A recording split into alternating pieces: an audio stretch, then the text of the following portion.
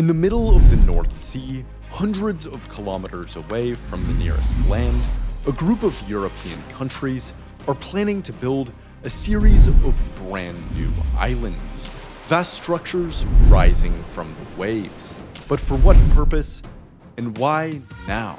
That we want to make the North Sea a green power plant. When we work together, we are capable of, uh, of so much. So we thought maybe we need to build an island.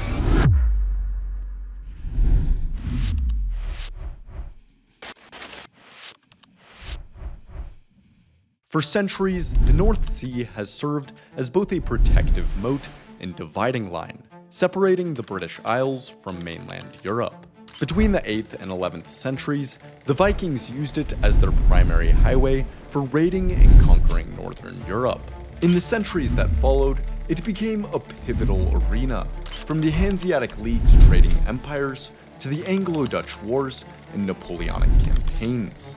During both world wars, it was fiercely contested by the British and German navies for control over vital trade routes, and in more recent times, its depths have revealed vast reserves of oil and natural gas, flooding wealth into the nations that border it. But now, in the 21st century, the North Sea has a new source of value.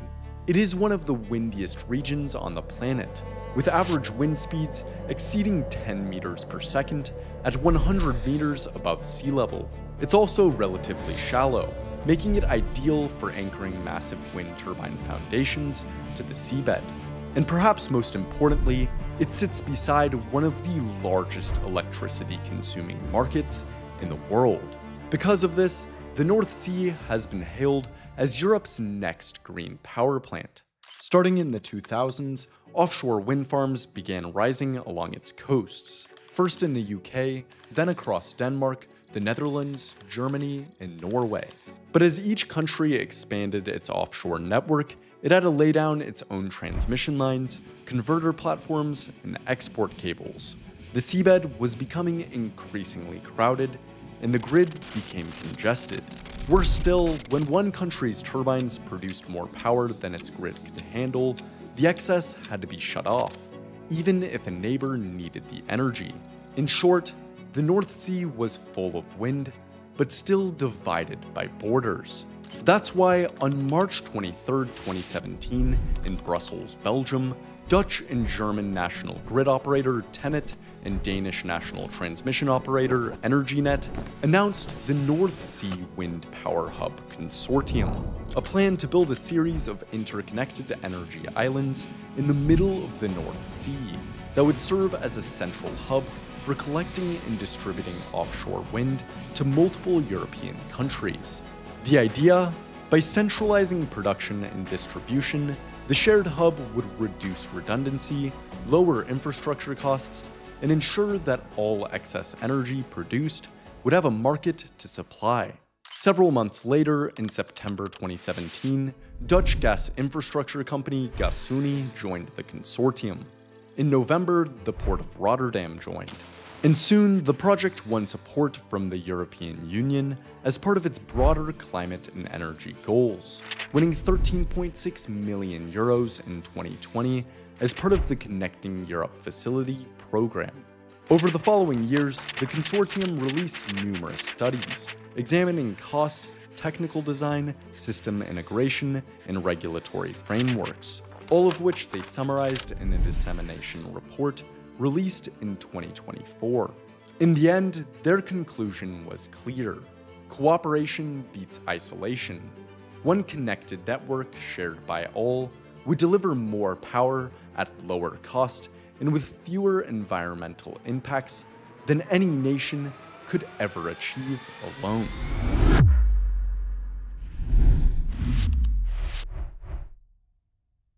When first proposed in 2017, the North Sea Wind Power Hub plan centered on a single, massive 6 square kilometer artificial island built on the Dogger Bank, a shallow plateau in the middle of the North Sea. The island would host converter stations, maintenance bases, and hydrogen facilities, collecting between 30 to 50 gigawatts of energy from thousands of nearby wind turbines, which would then distribute to partner countries. However, as studies progressed, issues began to pop up. First of all, building a massive island 100 kilometers offshore in rough seas would have been extremely complex and expensive, taking numerous years and costing billions of euros, all before a single wind turbine could be connected. In addition, the transmission technology needed for such a large shared network was still emerging, and the onshore supply chains needed for construction were already stretched thin. Lastly, no single nation would have clear legal ownership or permitting authority over the island, making the project politically complicated. Still, the benefits of a shared network were clear, and by 2021, the consortium had adjusted its approach. Rather than building one large island, the new strategy was to build a series of smaller distributed wind energy hubs across the North Sea, each within their own country's exclusive economic zone, forming an interconnected meshed grid. This new approach would be more flexible, cheaper to build, and easier to coordinate among nations, while still capturing the benefits of a shared system. Each hub would have a capacity of between 12 to 24 gigawatts.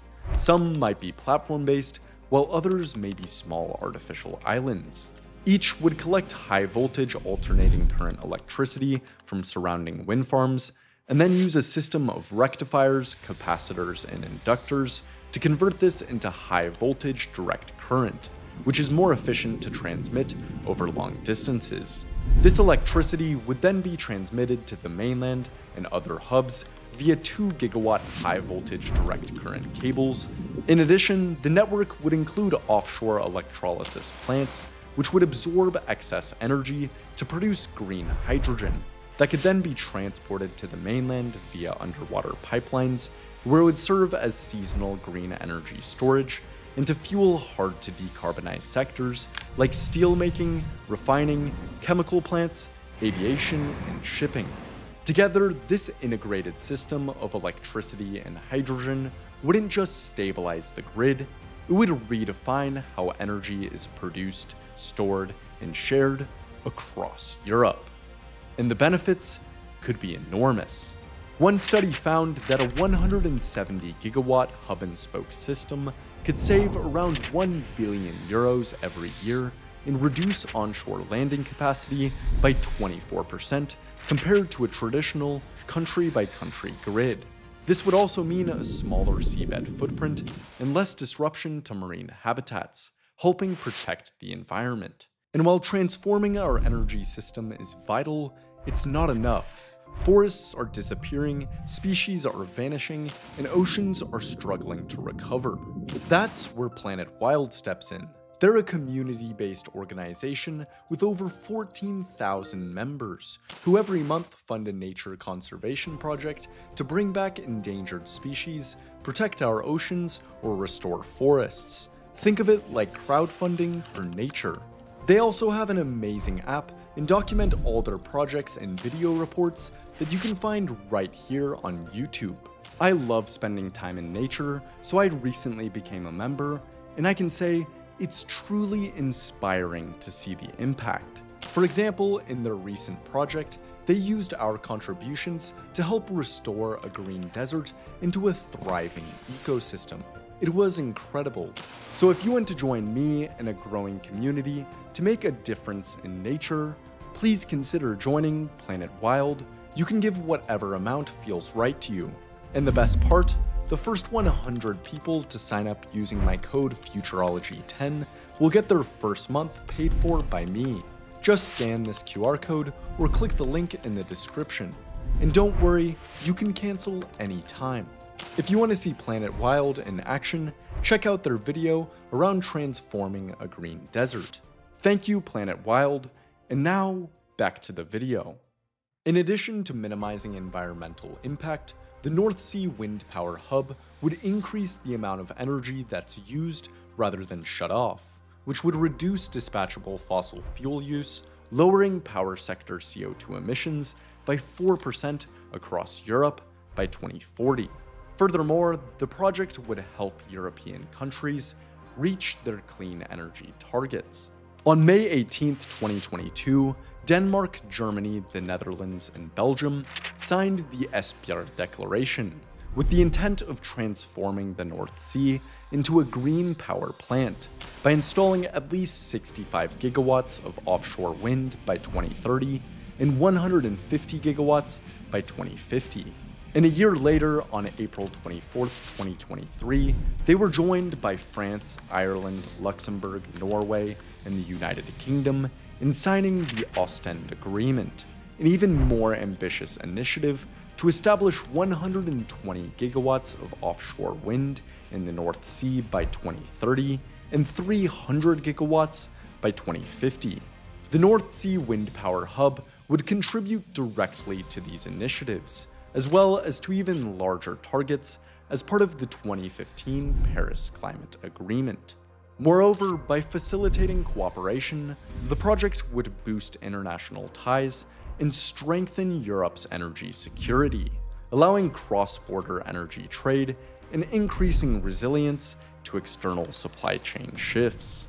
Lastly, the project would drive massive supply chain growth supporting tens of thousands of jobs in cable manufacturing, turbine installation, and hydrogen logistics in coastal communities and ports across Northern Europe. However, while all of this sounds great on paper, the project will take lots of time, money, and political will. So where does it stand today?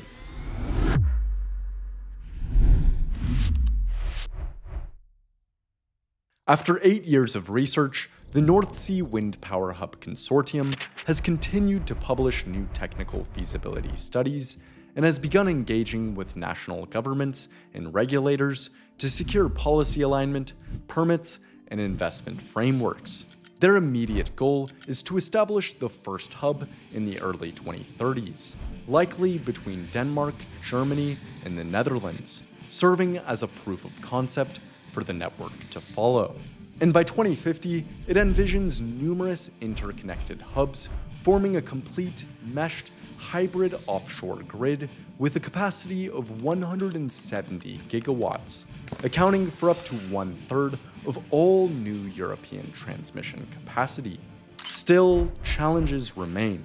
While European countries have agreed on the importance of expanding offshore wind, turning that ambition into reality will mean aligning legal frameworks, grid codes, and financing across jurisdictions, a process that could take years of negotiation. Yet if they succeed, the transformation would be historic. What is now a cold, rough sea that has divided nations for centuries would become a bridge, uniting nations through a shared effort to deliver affordable, clean energy and fight climate change. Please remember to check out Planet Wild through the link in the description or this QR code. You'll join a community who is leaving a positive impact on nature. And if you want to see them in action, check out their video about restoring a green desert. If you enjoyed this video, it would be greatly appreciated if you like and subscribe to Futurology and share this video with someone who you think would find it fascinating. Thank you for watching, and see you next time.